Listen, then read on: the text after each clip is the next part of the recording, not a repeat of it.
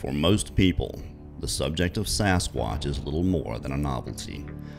But try asking one of the many thousands of credible people who have seen the creature, and it's anything but.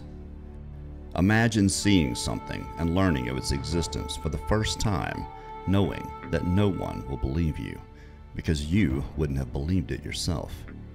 But just because it's hard to believe doesn't mean it isn't true. Our mission is the same as it's always been to contribute as much as we can to the public awareness of these creatures.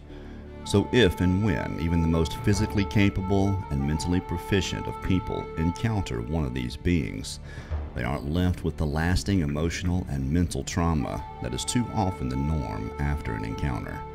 I only speak from my own experience. We put together a dedicated team of people from many walks of life to spend 168 consecutive hours in the South Florida woods in the hope of collecting direct evidence that the existence of Sasquatch is more than just a myth or the boogeyman in some creepy tale, and that people who frequent any woods will pay attention to the possibility that these amazing and reclusive creatures we call Sasquatch do inhabit the forests of North America.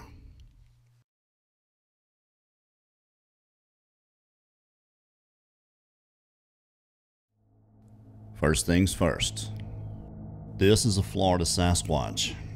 The image was captured by Mark Zaskey from Crypto Reality just over a mile from our camp. Now, I'm not ambitious enough to think that I can change anyone's mind about the existence of these beings, and for the most part, people don't take action until it becomes personal. So, whether you believe in any of this, there are people who see this subject through a prism of their own fear because they've seen what you are looking at in person. All I ask is that you be respectful of them. This creature is looking straight at the camera. He has an apex head, and on the right side of the circle, you can see its left hand on the tree. You can even make out the thumbnail. 600 frames later, it did something they rarely do when people are around. It moved. You can see it removed its hand from the tree and turned its head just slightly. It's sitting about 60 yards away under the darkest canopy in the woods. You are not going to see it with your naked eye, and it probably knows that. But we use cameras that let in a lot of light, and that removes much of the shadow, so Mark was able to catch it on camera moving. There appears to be another one to the right between him and the tree, but it's just too hard to tell. This is one of my favorite clips from Crypto Reality. Melanie Zaskey's filming right now, and to me, this is unprecedented. I don't think I've ever seen anything quite this good, and you'll see why in just a moment. But if you'll look between those palm fronds, there's a dark circle in there, a dark hole. There's a face sitting in that hole. It's very chimpanzee looking, hooded nose like us, long, prognathic upper lip, uh, very pronounced brow. If you couldn't see it before, there's a circle for you. But it does something else, something you wouldn't expect, and most people are not going to catch. It blinks. Now, again, this creature is probably supremely confident that the two people on the other side of that bank cannot see him. In fact, they can't. They didn't catch this until they got home, was able to see what the camera had picked up. But how amazing is that? This is not CGI. That is an actual, believe it to be a very large male Sasquatch.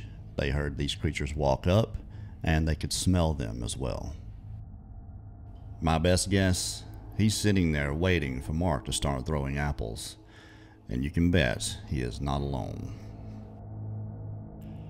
Someone might say, well, that's just an escaped chimpanzee. Well, chimpanzees don't have hooded noses or massive eyes like this being that's in the woods. There's that one, deep in the thoughts of the universe. These beings seem to always be hiding, even in the dark, and not just from us, but from everything. That only seems self evident because they're so good at it. In fact, they've adapted so well to it that we can't get a good enough image of one to even prove they're out there. Most of the images you'll see captured in this area, the skin appears green or black. Now, the three possibilities I can think of for this one being chromatophores like a squid or a lizard, two, it's something they put on their skin, or three, which I think is more likely, it's reflecting the color of the foliage. You'll see throughout this film skin variations from light gray to black and everywhere in between. This is not Jack Link Sasquatch. What I and many others have seen and what has been captured on camera in this area is more like a caveman. The creature you see here is obviously black, but for all these reasons skin tone, hair, and mostly behavior they're all but impossible to study. You're likely to never get much more than this right here. Mark Zaskey, who helped direct the field effort for this film, and his wife Melanie have gotten as close as anyone ever has.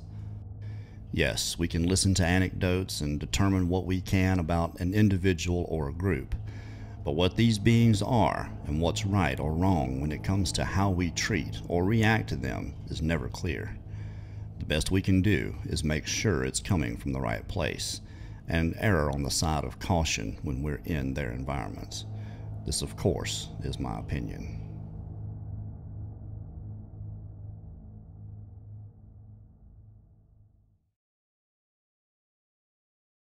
Uh, I'm a retired real estate executive. I came. My background was real estate finance, acquisitions, portfolios, etc. No, I'm definitely a believer.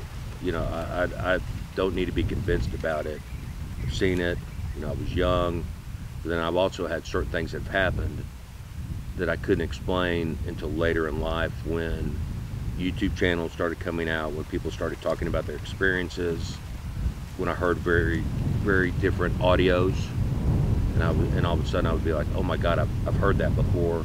Then it would start correlating with other things that I could not imagine or I couldn't understand, but now I do understand. Family man, just like anybody else, uh, working nine to five. My family is very supportive of this because of my own experiences and encounters that I've had. Um, so they know that it strikes a chord with me, and um, it's pretty. I need to be pretty passionate about it um, I have been actively researching Bigfoot for around eight years. And I am from West Tennessee. We mainly research in LBL, Land Between the Lakes, but I have also researched for uh, in 15 states, everywhere from Florida to New Mexico. And this is what I enjoy doing is taking things that I learn in my own research area and see if I can apply them to different areas. Well, like I said, I used to be a personal trainer, so I was always very familiar with uh, biomechanics and kinesiology. And so, you know, when I was younger and I originally saw the Patterson Gimlin film, you know, I was always able to look at people walking and be able to tell them what exercises they need to do to correct their posture and, and just, you know, tell about biomechanics what they need to work on and everything. So when I saw the movement in the Patterson Gimlin film, I could just tell it wasn't a person in a suit. I mean, just the way they walked. You know, a person can mimic the knee bends and the stride and the arm swings and everything, but they can't do it that fluid and that naturally and you can just tell it's it's not a human being. I've been um, pursuing this subject and being a student of the Sasquatch species for 15 years, ever since I started going on expeditions with the BFRO. And I got completely um, bitten by the, by the bug back then, and I've basically devoted my life to this um, inquiry ever since then. After a couple of years of going on expeditions all over North America, where there uh, was a long history of sightings, my grandparents talked to me about it, both sides talked about it when I was younger. Um, so I had a little bit of a background on it, although never at the time seeing one, hearing one kind of, you know, still wonder. Uh, but as the years progressed, it was just something that never really, something that was always in the back of my mind. Anytime I would see anything on TV or, uh, you know, it could be anything that, that, uh, that, had anything to do with the subject, it would always bring those those memories back up. Um, and probably eight to ten years ago. Really got into it serious, like really trying to really trying to learn. Two or three years after the beginning, really starting to try to get out in the field as much as I could and meet who I could. My grandmother had uh, an encounter, or I would like to say an encounter in uh, Mississippi years and years ago, uh, growing up. That uh, sounds pretty Bigfoot-ish to me, so that got me interested. I've always been interested in cryptids and uh, any kind of paranormal.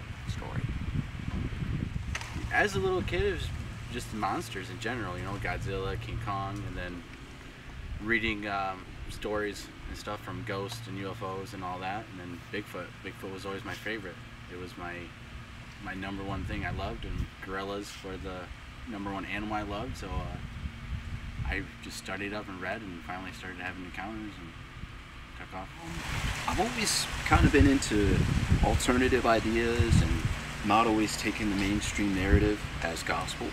Um, I've always liked to find answers for myself. And so I've always kind of been into the esoteric and the conspiracy theories, but I hadn't really gotten as close to what I thought was answers. And so I made the switch to Bigfoot because I felt like I could, you know, get close to it. It was something that I could smell. It was something that I'd be able to see and interact with. Government. I worked for uh, one of the very large three-letter agencies. Um, I was a senior special agent, digital forensics agent, and computer forensics agent as well. Um, so I worked a lot of cyber cases and stuff and had done a, quite a bit of stuff with technology.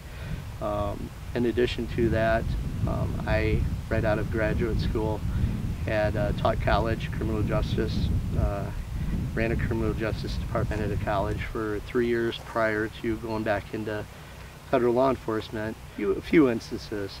Uh, one in 2017 uh, when I was camping, and I would go hiking when I retired. I'd go hiking up in northern Michigan and in the woods and go on night hikes alone and things like that. I believe my, uh, I know my first experience is what really got me into it, uh, and I was, it was actually with my father and my brother when we were backpacking in, in Sam Houston uh, National Forest in Texas, and uh, uh, that experience is what really put me on the on the trail of wanting, wanting to do my research. And We're also joined by local independent researcher Mike Velez, independent researcher from Michigan Chad Datema, local independent researcher Russell Van Zylen, local independent researcher Stephanie Perez, aka Stevie B, from Georgia, tracker and security specialist Jeff Townsend, local independent researcher Bobby White,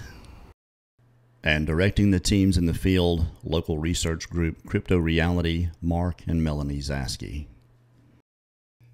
On arrival night, before we started the clock, our close friend and independent researcher Mark Kinchell from South Carolina got a call that his mother had fallen and wasn't doing so well, so he packed up and drove back to see about her. She passed away four days later. We hold Mark in very high regard, and his efforts were certainly missed. Our thoughts and prayers go out to him and his family.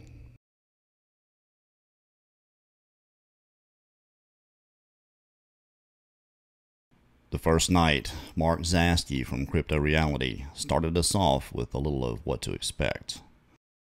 The most important thing to understand about what's in that drawing is that it's embedded in a way that you cannot comprehend in this environment.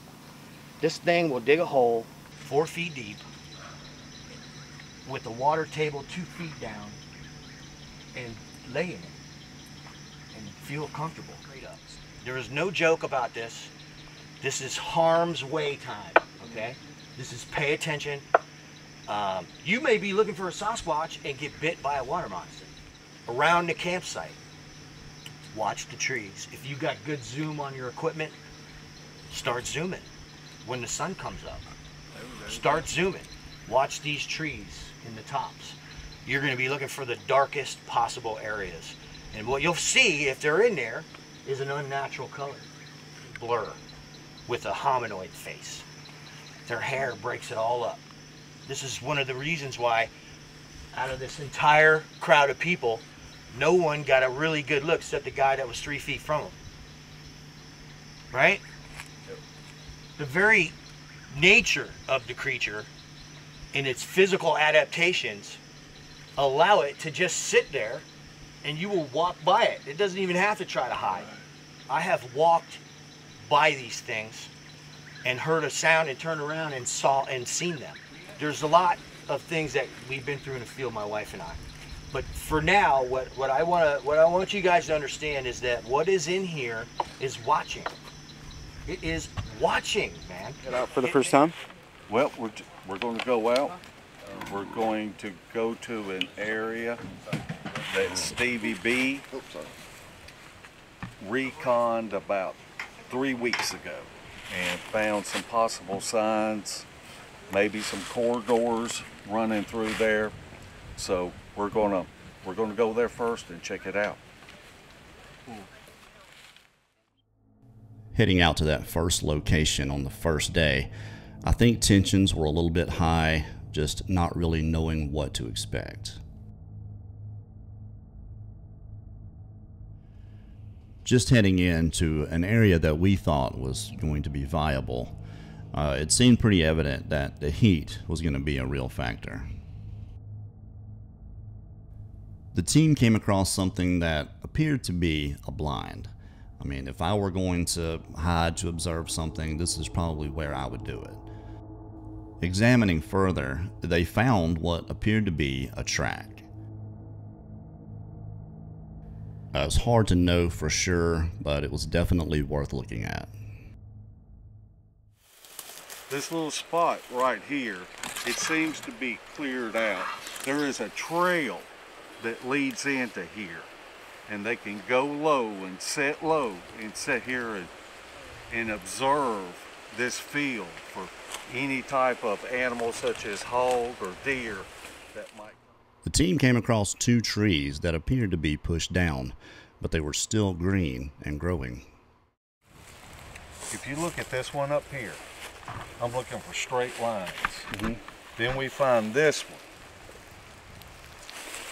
Almost and point then we look right in there, and we have an animal trail going right through there. This is something that I have noticed is if you find a piece of evidence, you want to find the second piece of evidence, and it will give you an idea of the travel route that they could be using. And so that's really important to try to put these little signs together and where they lead to.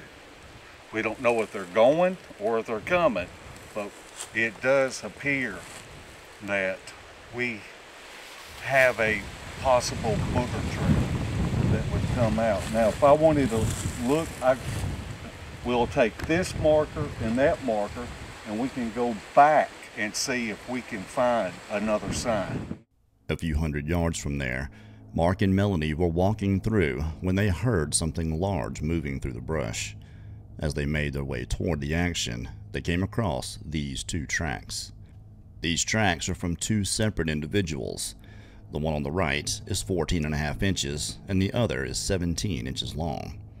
It's the only tracks they could find, but also the only substrate in the area suitable for leaving a clear track.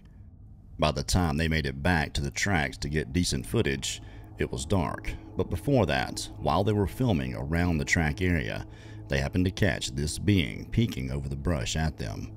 They didn't see it, so they didn't have the camera on it very long, but still managed to catch three clear frames of the being. Its height is estimated to be around 9 feet. If you haven't noticed, most of the images of these creatures captured in this area, the skin appears green. We've come to determine this as a result of diffusion. The being's skin is actually gray. Light reflects off the foliage and projects onto the gray skin of the being, making it appear green. We believe it's a natural adaptation, creating a perfect camouflage. You can see this effect on other animals with the same achromatic aberration, like these two capuchin monkeys. Don't they look happy? It seems the brighter the sun, the greener the skin appears. In the book, The Florida Keys Skunk Ape Files, author Brad Bertelli details interactions with skunk apes as far back as the early 1800s.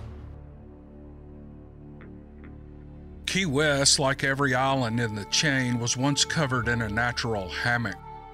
A hammock is what woods or forests are called in South Florida and subtropical islands like the Keys. As the islands were settled during the 19th century, some were cleared to make room for the needs of the growing communities. Because of Key West's favorable location along the shipping channels and its natural deep harbor, a rarity along the archipelago, it was the first of the Keys to be widely settled. The early military presence likely bolstered the earliest residents' sense of security. Still, Key West was isolated, an outpost where stories of Indians and pirates were once passed around like a basket of bread at the dinner table. What has become clear is that the residents of Key West were not living on the island concern free. From time to time, a sense of quiet unease would settle over the island. That silence would be punctuated by knocking noises in the trees, large shadows moving behind them, and a peculiar, skunky smell. As the outpost grew into a community, so did the stories of a creature that sometimes crept through the hammocks on the outskirts of town. Around the waterfront, when Spanish sailors sailed into the harbor and that skunky aroma drifted in on the breeze, they would talk in hushed tones about La Bestia and stay close to their boats at night. In 1836, during the early years of the second escalation of the Seminole War, the U.S. schooner Constellation arrived at Key West. It remained in port for a month during that time, the midshipmen and other sailors worked with local citizens to clear away sections of the island's hammocks. The work was done for these primary reasons. First, clearing the island of the trees and other brush allowed the ocean breezes to more easily blow across the island. Without formal mosquito control measures in place, natural remedies like breezes help to keep the clouds of bugs at bay, if even just a little. Second, additional usable space was created for residential and commercial properties to expand across the island. Lastly, the less discussed reason behind the island's clearing was that it had been done, at least in part, as a concerted effort to deter the appearance of the cryptid. The farther back the tree line was cut, the farther back the creatures that would occasionally appear on the island seemed to stay away and the fewer stories were being told about them. Strange occurrences, however, would not altogether cease to occur. Carysfort Reef is located off the coast of the largest of the Florida Keys, Key Largo. It can be found more than 100 miles north of Key West and is a large and dangerous reef. Historically, statistically speaking, it proved to be the single most dangerous tract of coral in all of the thousand of individual structures making up the Florida Reef.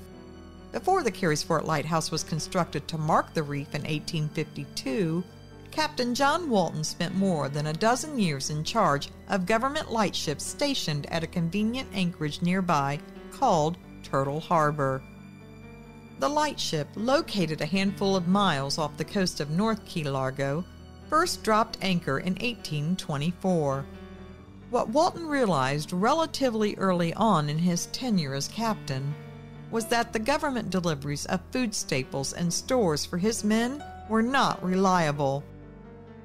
To better provide for his crew, Walton established a garden at a Key Largo cove where he farmed tomatoes, melons, limes, and other fruits and vegetables. In a log entry dated August 28, 1829, Walton wrote Unusual occurrence at garden site, accompanied by strong skunky odor. When our party approached, we heard a thrashing in the hammocks as if a large animal had been surprised. As we entered the garden area, it was in disarray, with several unusually large footprints left in the soil.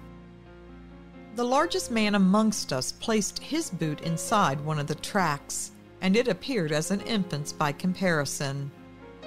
As our group stood remarking on the unusual sight, first one melon and then another came flying out of the brush. Landing at our feet, the melons exploded. One, two, three. The impact sprayed up with both pulp and seed. It was as if they had been hurled at us, which, as I remember the event, they were. The melon incident was followed by prolonged silence. As we were without arms, we departed the garden area, and it was determined that from that point forward, all visits to the island would be accompanied by arms.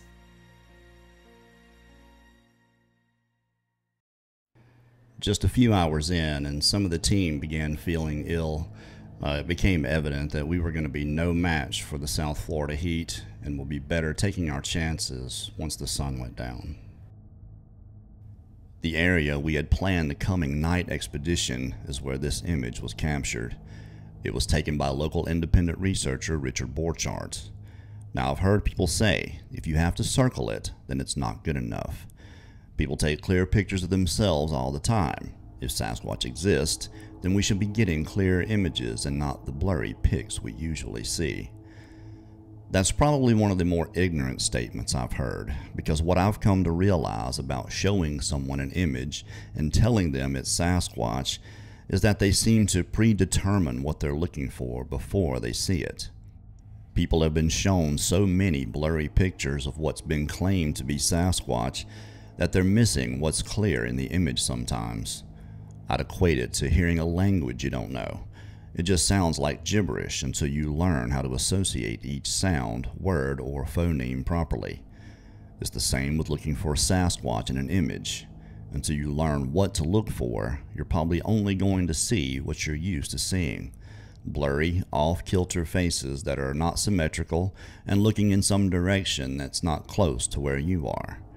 I'd say no less than 99% of the clear images I've seen, the creature is hiding very well with the camouflage to help them and looking at the camera. That's the behavior we've noticed more than anything.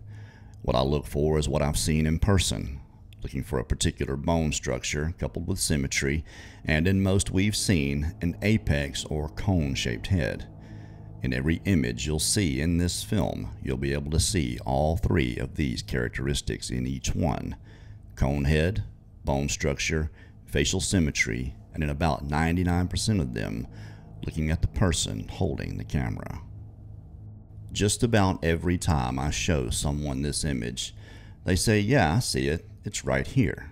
Completely gazing over the being sitting right here with all three of the criteria I just mentioned.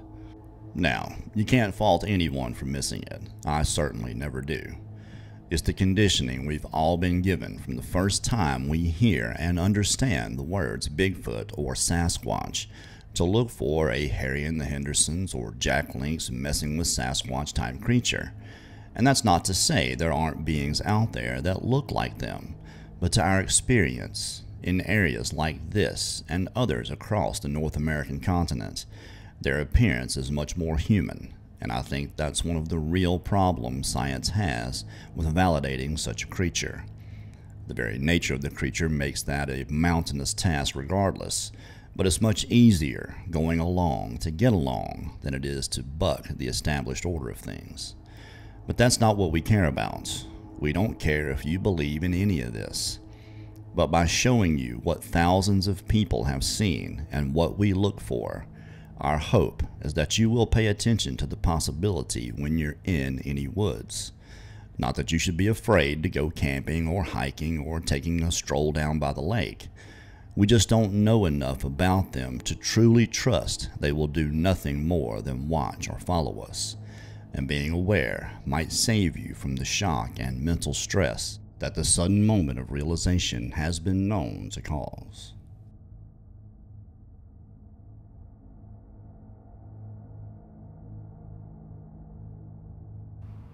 After deciding on the area for the first night expedition, all the teams decided they'd hit the trail just so everyone could get a feel for the place and each other. The plan of attack was for the groups to split into two teams and go in from different angles, then meet in the middle where the trail comes together. Yeah, you're going to go straight to the crossroads. and then you're going to stop and wait for us. Don't go any deeper in. Deeper in hmm? means you're in where we've planned on going tonight to record them. That's where they stay, that's where they sleep. Stay at the crossroads and we'll be there. No one got off trail, but glassing with thermal and night vision from the trail did prove to be somewhat productive. Blake Deutscher from the Lost Cryptids Conservatory was using a SiOnyx color night vision camera and happened to catch this red eye shine only 15 feet away. It appeared to be over 8 feet off the ground. I've hunted for a long time and shined many animals' eyes, but have never seen any with red eyeshine. Not much else was captured here, but what was captured back in the tree line by our camp was some very strange and interesting audio. Christopher Noel had placed a recorder in the tree line about 200 yards from our camp that first day. What was captured sounds like nothing I've ever heard before. This is the only night anything like this was recorded, but I believe it's because it's the only night no one was left at camp. This is what he recorded.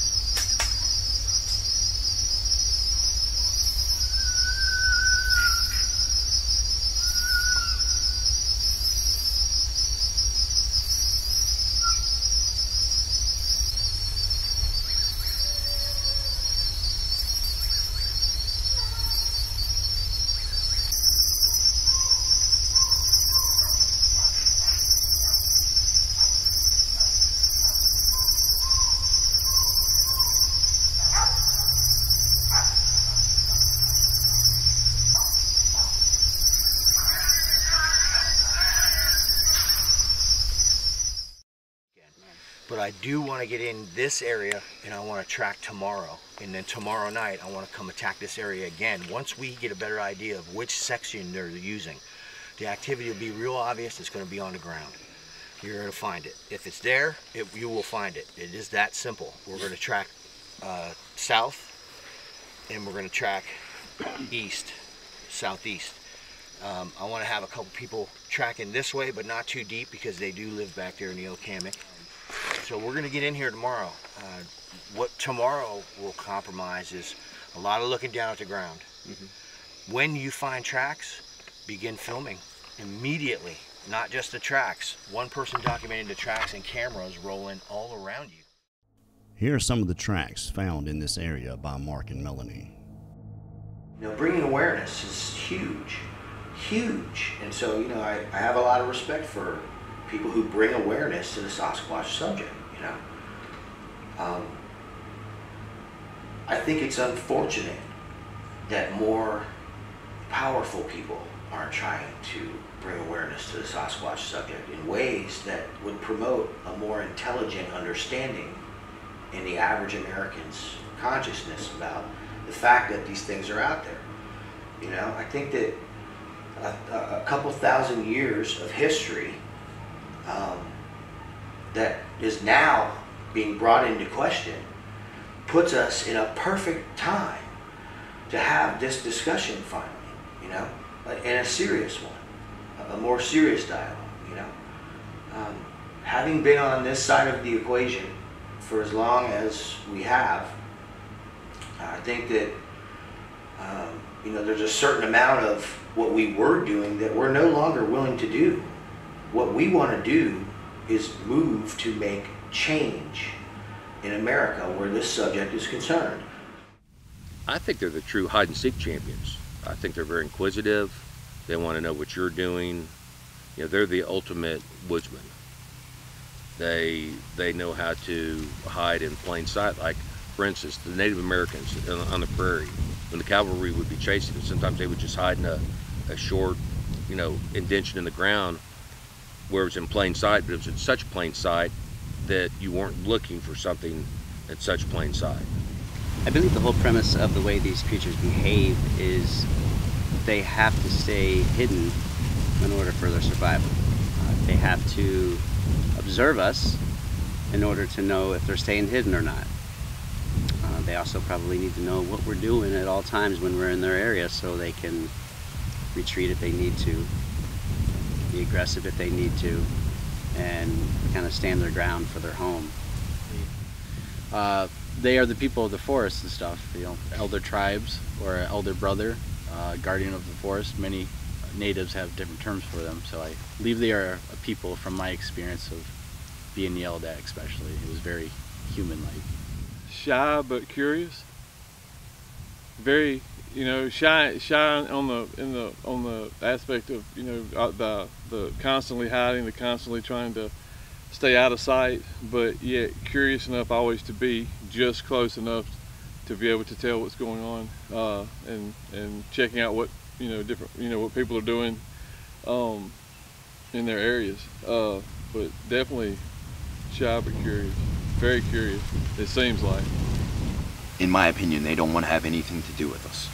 Um, in my opinion, they have their life, and they don't they don't want anything. They don't need anything from us. They don't need our protection. They don't need our they don't need anything from us. And that's that's very that can be very hurtful to the to the human ego. Uh, well, because we think that the bears need us and the deer need us and every everything out there needs us to protect them, right?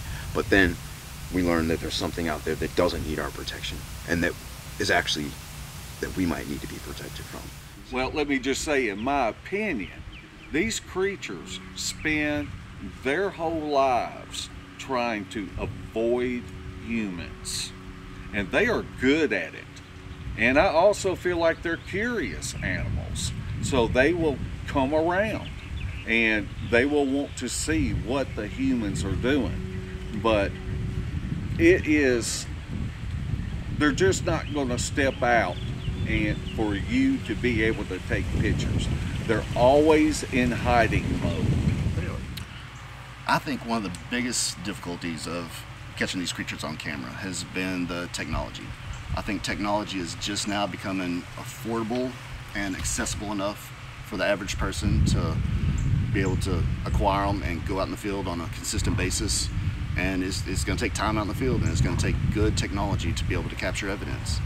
And I just think it's, you know, thermals are just now becoming affordable enough for people to rent or buy and go out in the field. I think they're drawn to us like we're drawn to them because they don't simply avoid us like the plague. They avoid us like the plague and they also, there's a flip side to the same coin. They also come around our, our houses.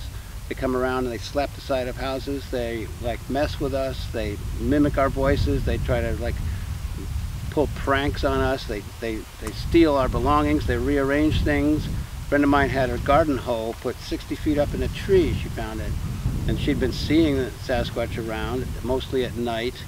Um, and so what else is going to put her hoe 50, 60 feet up in a tree? Um, so I think they, they simultaneously um, need to be distant from us and they want to communicate with us, but only indirectly, only through mediation, like through objects or through middle of the night uh, pebbles on the roof or tapping on the glass of our windows. Uh, there's never a direct, hardly ever a direct encounter with with uh, with our cousins. Because they do have hair, that that breaks up a uh, very specific impression of what a body would be. It kind of diffuses the outline of the body. So I believe that helps with them. I believe that the coloring of them, the drab coloring of either uh, uh, barks or the reds, the deep rust reds that you see in palms or in leaves, I believe their coloring helps to hide them. I believe the oil on their skin reflects the colors back. I believe that the hair that I've seen uh, that seems somewhat clear and has like a prism type effect. I think all of this kind of comes together to make a perfect camouflage system for a creature that's just smart enough to stay out of range and maintain their survival without giving themselves up. Because they could really, if they wanted to, they could decimate us. I think what Melanie and I did was refuse to ignore what everyone else ignoring. I think that there are a lot of people that know what's going on, that work in these areas, and they're ignoring it. And they're they're just they're not reporting. I mean, over the last couple of years, I've been contacted on three occasions by officers that have retired or have stepped out of that and have told me that you know they know what's going on, but what are they supposed to do about it? Lose their retirement, which kind of tells me that they're under threat.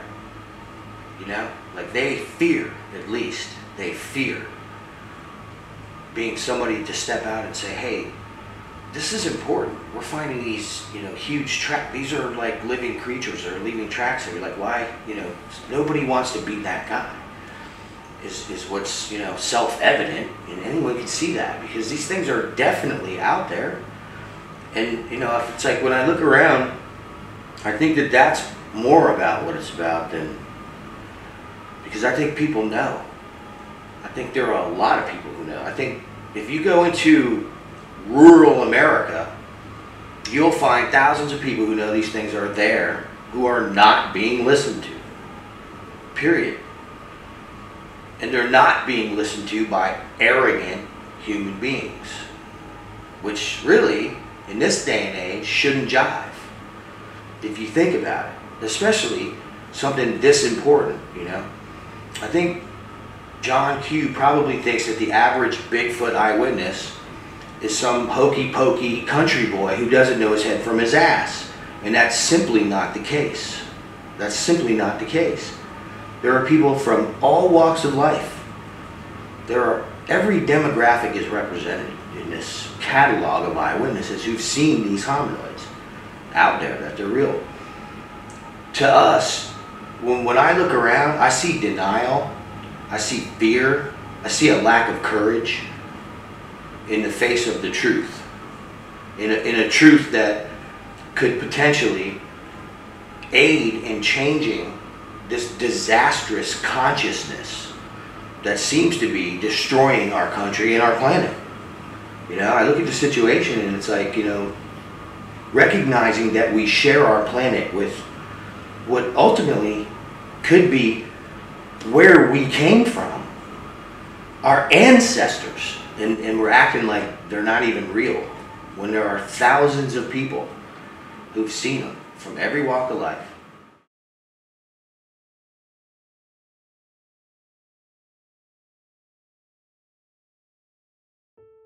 Here are two more excerpts from the book, The Florida Keys Skunk Ape Files, by author Brad Bertelli.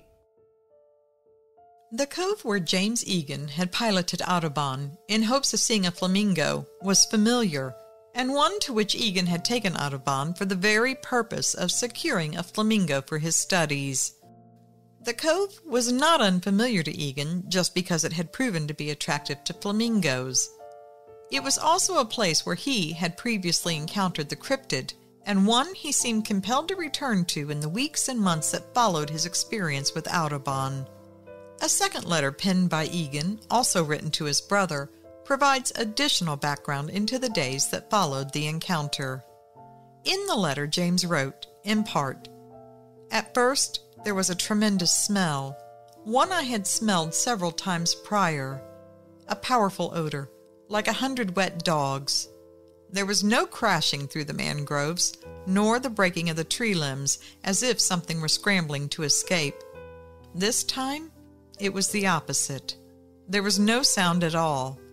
It was a heavy quiet, and the hairs on the back of my neck stood up. I paddled around the mangroves, and there, back in the root tangle, was that same massive creature that was not quite ape and not quite man. It was covered in fur, except around his face and chest, and it was big, bigger, and built powerfully like those black bears that came around the Miami River. I raised my rifle to shoot, but I did not fire and cannot say exactly why. I saw its eyes.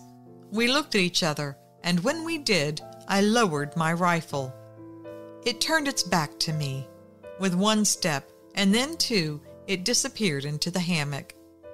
I was so unnerved by the power of its gaze.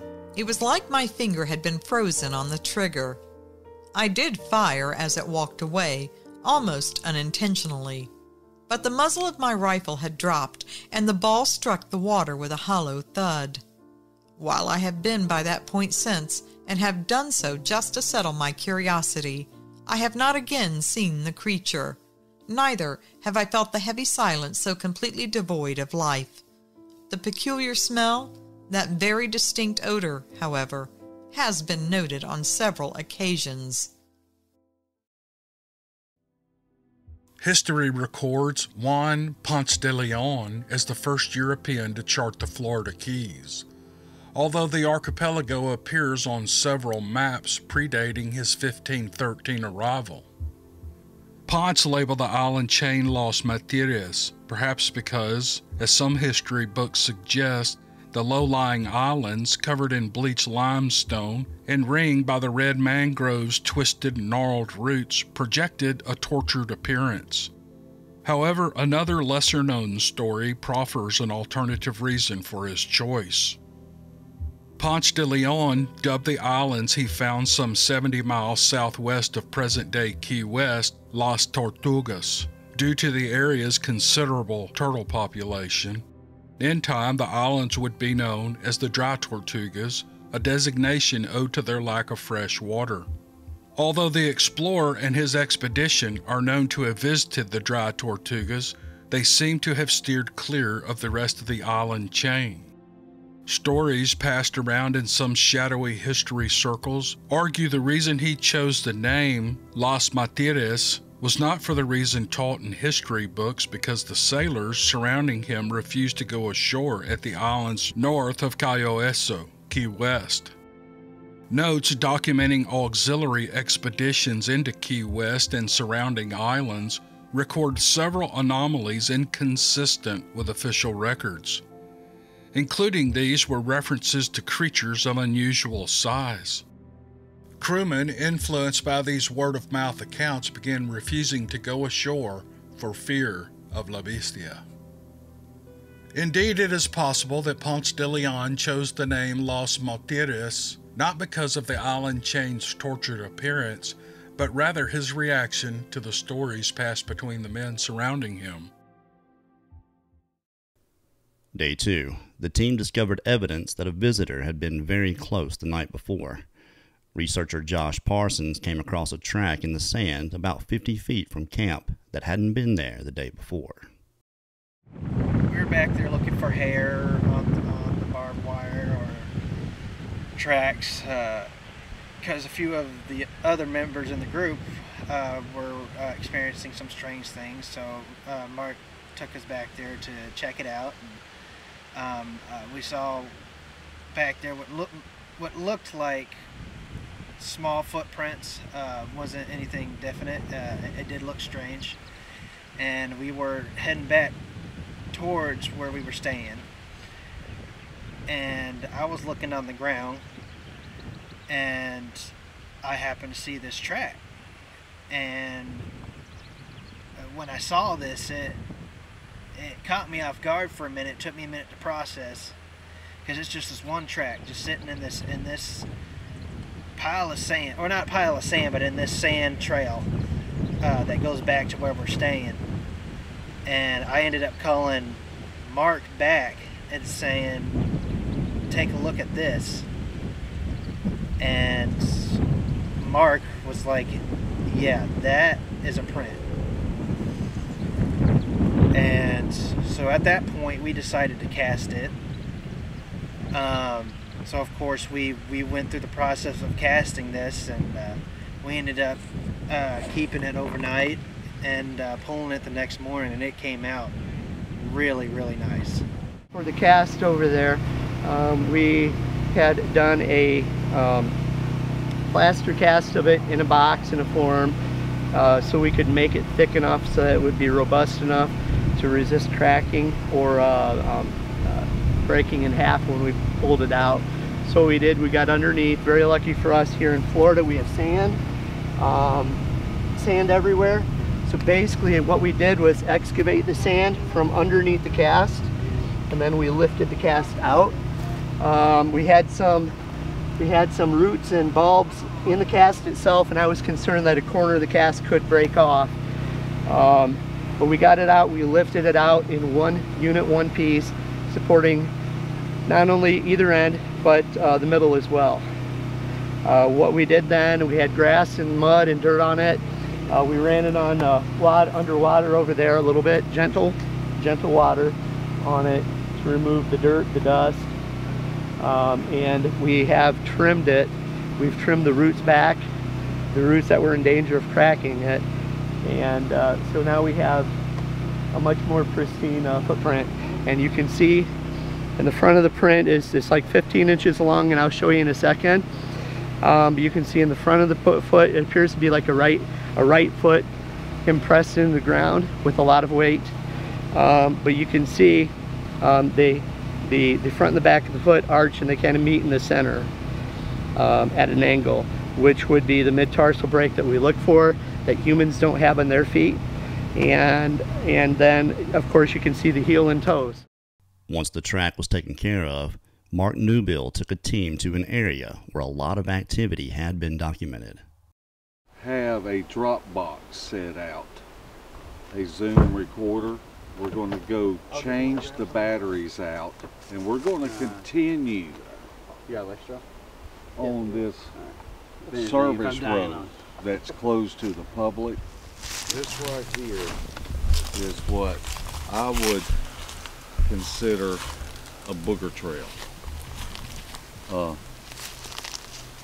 it's higher up where things have been broken off. It's not like deer have ran through here and brushed up against things and broken it. The, the breaks that are in there are higher up.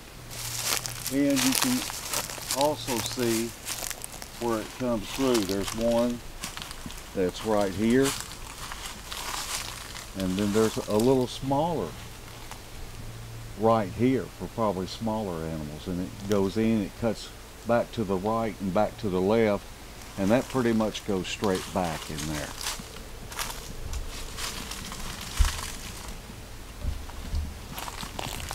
Yeah, most definitely I So find them all over the place. I'm just I'm just looking at all these trails. If you were a deer hunter, now this is the place where you would want to put your stand in. It opens up. You got a trail over here, a trail over here, a smaller one right here, and one over here. And all all these trails come in together.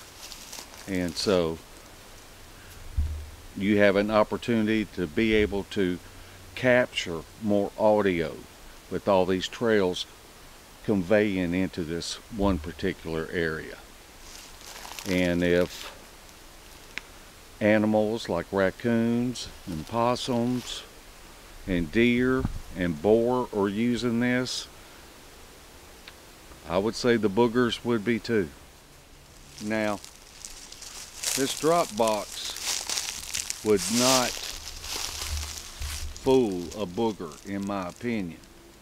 But it may fool somebody that's hiking and camoed up enough. It's right there. You see the dead cat coming out of the bottom? You, you're just not going to be able to trick one of these. I mean, you're in their house. Yeah, but the boogers are pretty good at about knowing anything that's not Yeah, natural. we don't know if they're hearing the batteries. We don't know. Yeah. Uh, you know what what it could be. It could be the smell of the alka, alkaline. Yeah. You know. Probably a couple different things. But there was one guy that was putting them in these boxes and burying the boxes. Yeah. I know Kane Michael has done that. And so we got the Zoom uh, deployed again. And probably me and Shelly Reed and Larry Porch will be reviewing the audio. And when we review the audio, it's second by second.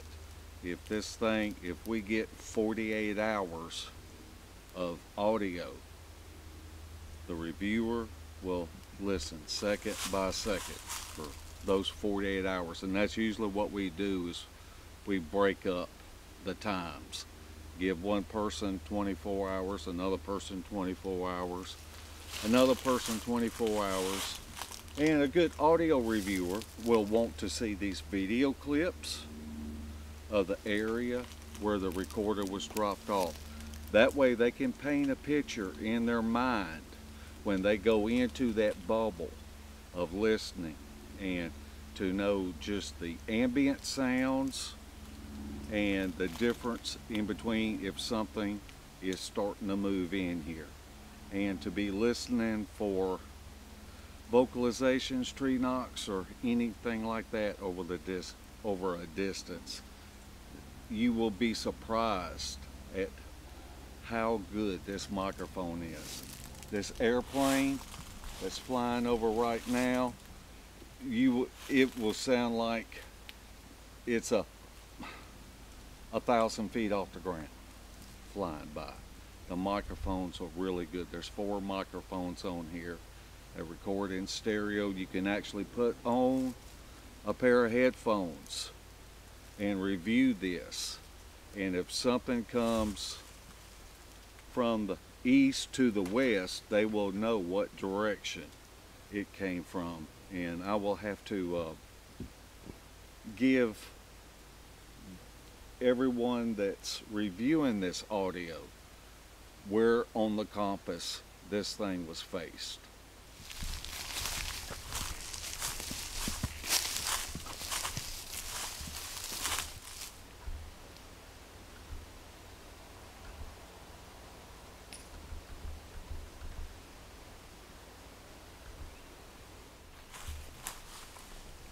Did you hear that?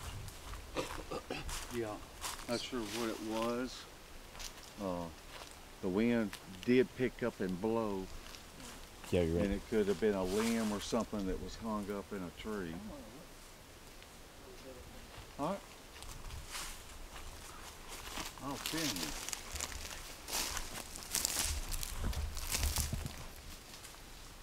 you. And I see stuff like this. This definitely looks like a booger trail coming through here. How with this snap towards the bottom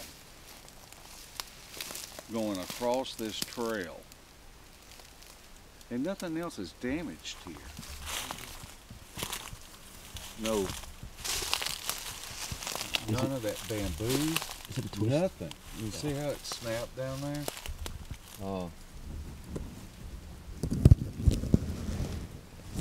It's There's a lot of hog activity back there. Yeah. Okay. But how it happened and didn't damage anything else here Yeah. is is a little bit peculiar. and just something that, that you want to note as far as possible activity. Hmm. So you can see that trail real Oh good. yeah, that's that's Looking definitely from true. right here where it comes and it does a little elbow. I'm gonna just check this Yeah. out.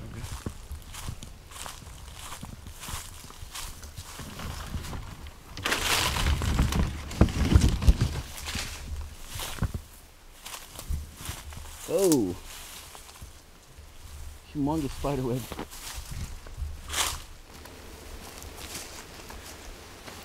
It's out there.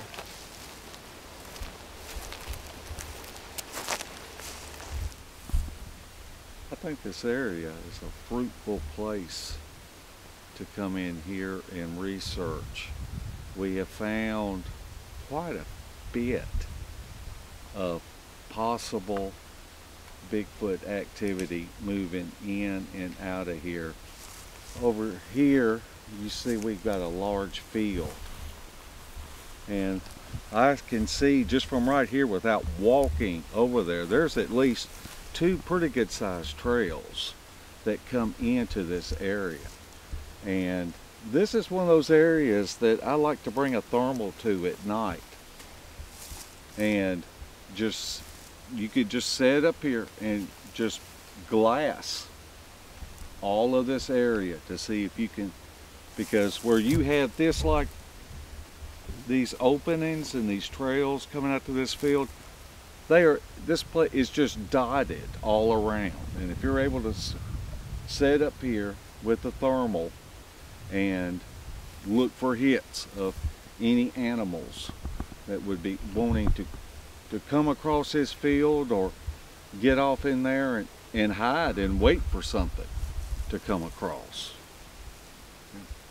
It's so hot and humid during the day right now. It, we might not have too much movement and activity going on during the day. I'm sure they're probably laying low in creek beds and near water and chilling in the shade. But it'd definitely be an interesting place to come in at nighttime, especially with thermal imagers and see if we can get some activity, especially scanning the tree line of these catchment fields. Yeah. See if we can get anything hiding right on the other side of the tree line. I mean, you see how close that print was. Yeah. That we captured Yeah, and it was uh to to camp. I mean, it was rock throwing distance from tents. Chris, Christopher Noel and Bradley Hatcher. I actually had walked out there because I was thinking, oh well, there's a booger wouldn't be right here while we're sitting here. They saw eye shine right there. They were directing me towards it. Yeah. I mean, I I figured I'd see some possum or raccoon scurry off, but no. Yeah. Knowing that that print was right there, that very well could have been Cornelius right then and there, like Yeah. putting that print there. Yeah. You could uh, have have you a little fire and sit out here and, and cook some bacon and get those smells moving mm-hmm. moving around here and I I really feel like that they are curious animals. Yeah. And when they've got a full belly and they're content, we're their TV, we're their entertainment. Mm-hmm. And that's you know, that's just a theory, but that's my theory. Yeah, it's definitely very hot right now. With the heat during the day, no other teams made it out, and Mark was just collecting his recorder and scouting with Clay, Blake, Josh, and Todd. Not much was captured on the recorder except one possible distant knock. Myself and Mark Zaskey were in this area a few years before when he captured this creature on camera. We looked for the original clip but couldn't locate it. This is in 4K and about as clear as you're going to get without them walking out of the brush on you. What I find most interesting and a bit perplexing is the difference in the way these beings look from one another. The bone structure appears to be the same, but their saw features are as diverse as ours are. This being was captured on camera less than 100 yards from the other, and you can plainly see they look nothing alike. I've shown people this image, and they say, Yeah, I see the head and shoulders. And I reply, No, it's just a face. In this area, they just don't give you very much more than them poking their face through the brush to watch you. Mark and Melanie were standing in this creature's den, or so it appeared at the time, with it sitting 40 feet away in the bush watching them. The floor of the canopy they were under was completely clean of debris, no leaves, sticks, or dry palm fronds. You can assume it would make moving through there much quieter. Though this looks like your more traditional Sasquatch, the other is quite strange looking, in my opinion, with much larger lips, almond shaped eyes, and appears to have a very low forehead. One of the few where you can't make out the cone, if it has one. But they're hanging out in close proximity of one another. I'm not sure what that implies, if they are related or just tolerant of each other. Either way, they are there, and they are extremely hard to catch on camera.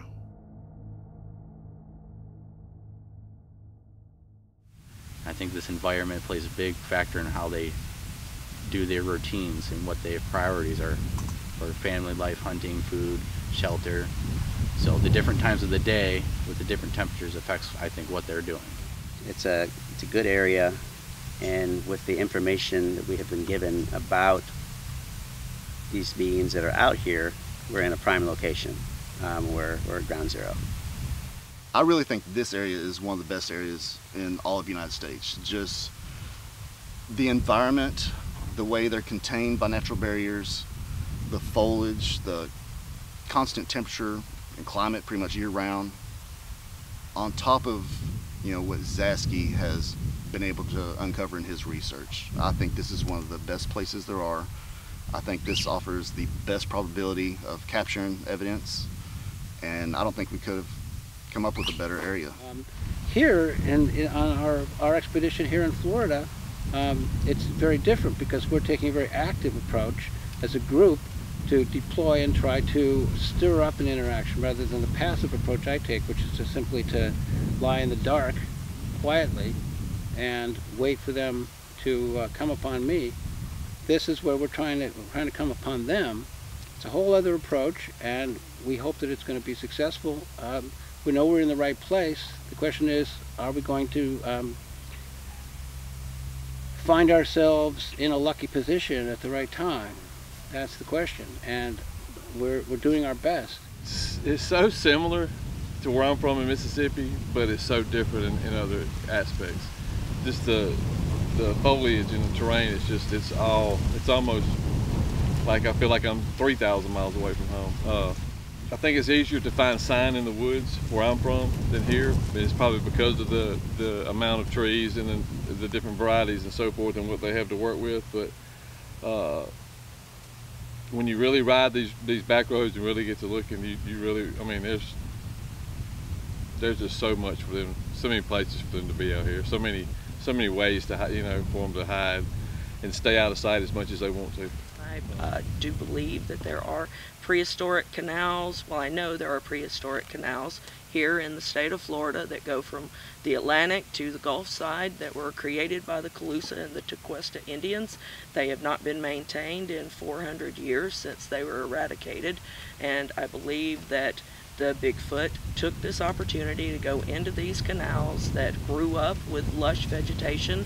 They always have, at the lowest point, they're below sea level, have a little bit of water, fresh water in them, the water table. So I think that it's historically, the historical significance and Bigfoot adapting to the environment and using those areas to their advantage this, I think, connects to Sasquatch because I believe that the Sasquatch opportunistically use these prehistoric canal systems to their advantage to both maintain a cool body temperature, to hide so that they can pounce out on prey, and to just have access to water during dry seasons. There, there are creatures here. There are creatures here. Um, Carrie made a really good choice in coming here.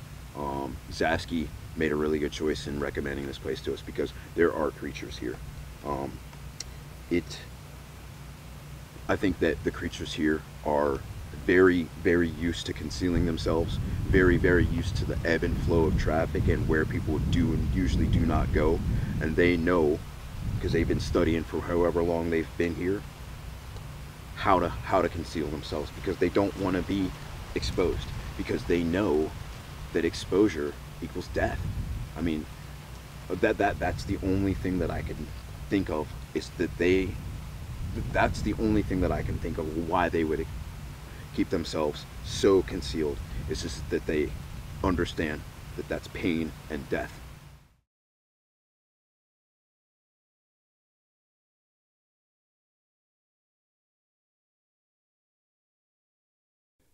Night two had the team splitting up. Some would stay at camp and thermal the tree line because of the track and other activity the night before. David Todd and the Lost Cryptid team would head out to a known hotspot to do a separate investigation. Early on in the night, the camp team spotted something large in the tree line on the far edge of the field with the thermal cameras. That's about a 180 yard shot, and the tree is about 40 feet tall. Whatever that is, it's large. Jimmy, Josh, and a few of the others went out to try to get a better look. As soon as they got close, it vanished. They looked for a while, but nothing more was seen or heard. David and the Lost Cryptid team had a bit more eventful night. We rounded up everyone for a trip out there, and we were driving along the roadway. Uh, all of a sudden, Josh Josh Parsons seen a red eye shine 10 feet up in the roadway, and uh, it basically turned and crossed the road. Uh, we all jumped out of the car as fast as we could, went into the woods. We started uh, hearing stuff, trying to follow it. Uh, we were tracking it as best we could, and basically uh, we were hearing a little bit of uh, twig snaps here and there. We were moving around through the brush, investigating, and uh, the team member members started seeing eye shine. I never seen the eye shine, but I fully trust these people with my life. I'm out here in the Florida swamps. Snakes, gators everywhere. I, I trust these people. They're seeing eye shine. It's it's 10 feet up, it's 8 feet up, it's up. It's up there, and it's moving, and we're, we're going after it. Um, after a good number of minutes doing that, um, our buddy David uh, all of a sudden says, I don't feel good. We went out to an area that was uh, not far from here, a few miles down the road. Uh, lots of wildlife, uh, alligators, um, snakes, uh, spiders, uh, just, just about anything you can imagine. Um, was out there and we're out there after dark. We're out there actually very late at night and in the middle of nowhere, basically in the middle of Florida swamps. Um, so we did a night hike and we were uh, going through a lot of heavy brush. Um, on and during the hike, as, as, as, as far as uh, showing up on the hike, as soon as we got there, uh, Josh uh, immediately reported that he saw some eye shine in the, uh, in the woods and, and we stopped immediately and get out and then we heard uh, some rustling around twice like there was something very large that had moved from that area uh, through the woods. So we kind of drove a little bit in, off of off of the main road down a service road, and uh, we jumped out. Um, immediately, the brush got thick. Uh, we were, you know, slogging through stuff. Um, and at the beginning of at the beginning of our um, second time that we were out of the car, um, we didn't really have too many incidents. Um, we were hearing some owl hoots um, but as we got to the end and we started to make our way back to the car, that's when the kind of the peculiar thing started because we all got disoriented. That was uncharacteristic of them to get turned around like that. Granted, we're in unfamiliar terrain and topography, but that was uncharacteristic. We were looking at maps the whole time, so it was it started to get a little bit everyone started to get everyone's everyone's level of anxiety started to rise um, so we decided to go down a little bit farther and go into the woods. We tracked through the we tracked through the swamp. We tracked through the um, through the woods. We found a nice area um, where there was uh, that was dug up as like a little pit where a larger animal could hide in. Um, that was very interesting. Um, we had also um, um, just a very long hike, but on the way out, um, we had some trouble getting out, um, and that trouble was uh, um, just really interesting. Um, I was uh, following the group. I was the last person in the group, and we're probably maybe a quarter mile still in. whenever I'm in, whenever I'm out in nature, I always, I, I don't take things joking around. If somebody says they're not feeling good, that that to me is a serious thing because they could drop dead. Um, we could be a situation where we have to carry them out, and not even four men could have carried him out of where we were. So that wasn't really an option. So it was it was that my anxiety level went up, and so he says he's starting to feel ill, and he's starting to lag behind. and uh, we're heading back to the car and I don't know what it was I don't know what happened um, but it was almost like I was put into a trance state um, where I started falling behind the group more and more and more and more um, to the point that I I tried, I, I wanted to say, hey, hold up, guys. Finally, I was able to say, hey, hold up, guys. And they were way ahead of me. Um, but uh, I felt, um, you know, certainly not alone out there. There was something out there. And I, I think it was trying to lure me away from the group, from the rest of the people, because uh, I was the last person. Um, so they came back. Uh, Todd came back and Chad came back. Um, Todd uh, was going to help me get back to the car and everything, and uh, he saw that I was a little bit, uh, little bit out of it. And I, I, can tell you, you know, having been on the job as a policeman and everything in the summertime, you wear like vests, you wear a uniform, you wear a gun belt, and it's a lot of weight to carry around. But the vests are very, um, they're very uh, heavy and hot in the summer. And I have had a heat exhaustion before uh, on the job. I know what it is, and that's not what happened last night to me. It was something that it was something that um, it, it, basically put me in a trance. And as I'm walking along, so basically, uh, I could um, uh, call to them. They came back. Todd had um, tried to lead me out of there. He had me by the shoulder and he was trying to get me back to the car. Um, as we're going back to the car, um, Chad takes off. Then he takes off back towards the woods, just himself. And uh, everybody's like yelling for him to come back. He wouldn't come back. It's like something grabbed a hold of him too.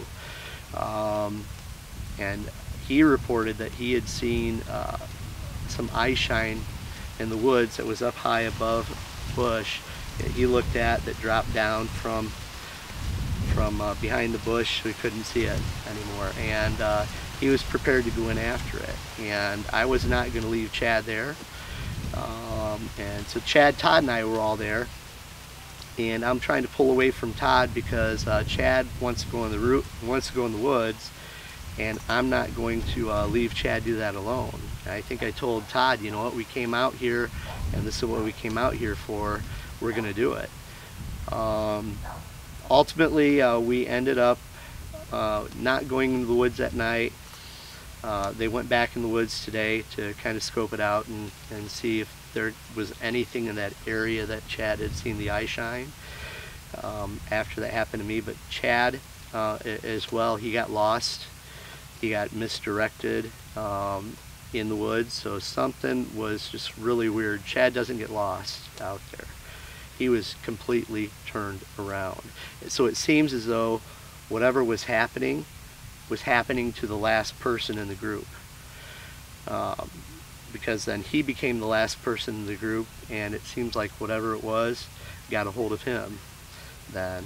And we just had to gather ourselves uh, the best that we could and get out. And for me it felt like um, uh, you know just snap of a finger I went from uh, I went from feeling uh, like I was in a trance to wanting to throw up. Um, I was very sick to my stomach, um, and and uh, I again this doesn't happen to me. I've never had that happen on the trail before, so it hit me hard, and I was very much just out of it for a while. And uh, we Todd took film of it, and we we we got out of there. Um, we plan to go back uh, tonight and uh, go back to the same area, same time, and uh, see what we can find out. But uh, it was it was, it was a very interesting experience. If I were to have any theory what it was, um, and you know, I, you know, coming from law enforcement, you know, you deal with rock hard solid evidence and everything. Um, some things, though, you just can't explain, or science doesn't have an answer for it yet. And I believe that there's stuff out there that we don't know about yet. During the wee hours, some interesting things were happening at the South Camp area. We were getting a lot of action around camp.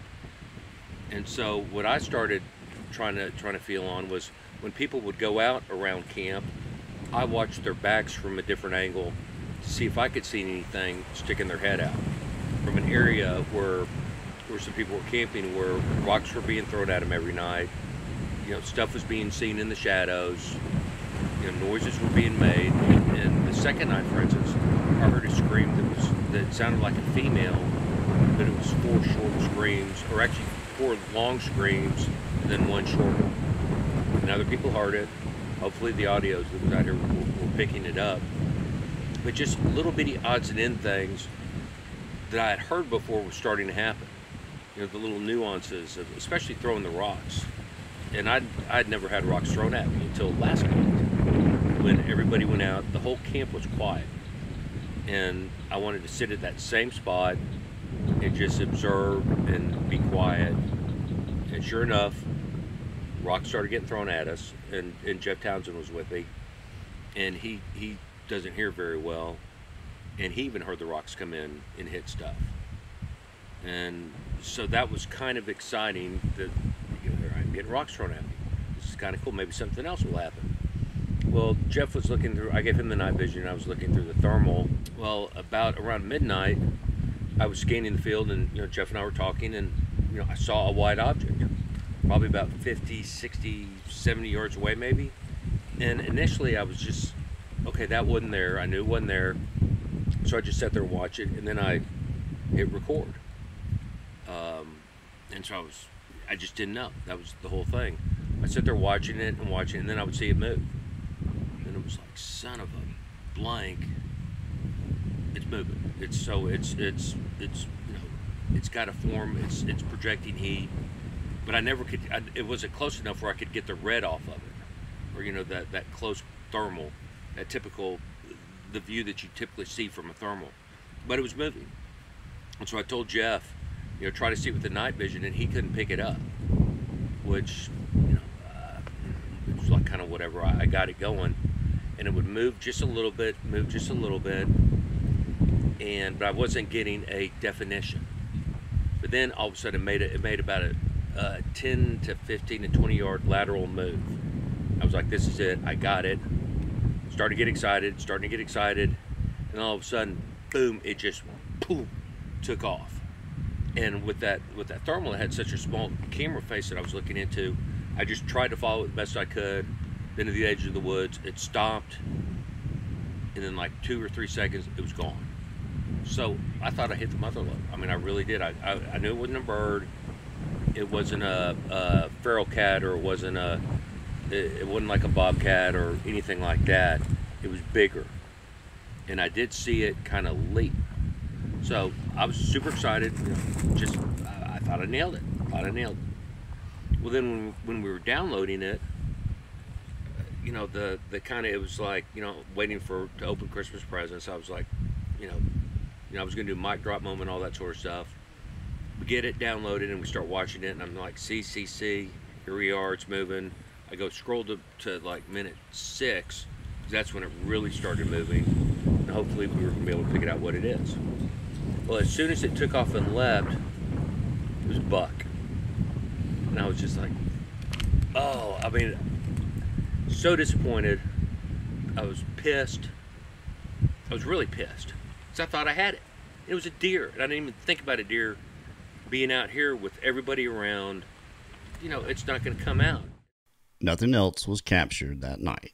I was I was really pleased with how the team worked well together and as a team and we talked about decisions before we would do anything and I, I think that's really important that you just don't shoot from the hip.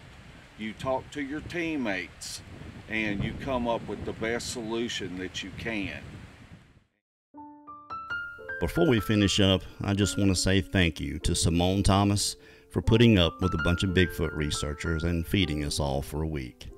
And a big thanks to all the researchers that came together and put in the work to get this done.